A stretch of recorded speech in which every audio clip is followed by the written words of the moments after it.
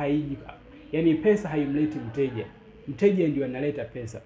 Kwa hiyo unapofocus katika bidhaa nzuri na kufocus kwenye pesa ya mteja unaikosa, lakini ukifocus kwa mteja ambaye ndio ataleta pesa, ina maana kwamba hiyo pesa yake atakuletea. Kwa hiyo focus kuangalia matatizo ya soko, kwa sababu tunalipwa kwa kutatua matatizo. Focus kuyaelewa matatizo ya soko, focus kuwaelewa wateja, na mwisho wa siku everything itajipa